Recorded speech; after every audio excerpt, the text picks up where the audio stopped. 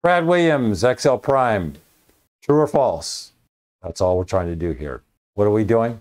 Greater than 8. If C is greater than 8, give me a yes. Otherwise, no. That's it. If C5 is greater than D2, yes. Otherwise, no.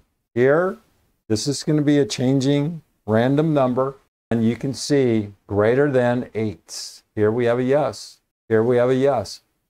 Do we need to get more complicated? Do I need to explain this? When a cell exceeds a determined value, the if function can be used to perform one action and another when it does not. It goes like this. If C5 is greater than 2, yes, no. Use the if function to test the value if you want to take a specific action when a cell value exceeds a certain threshold.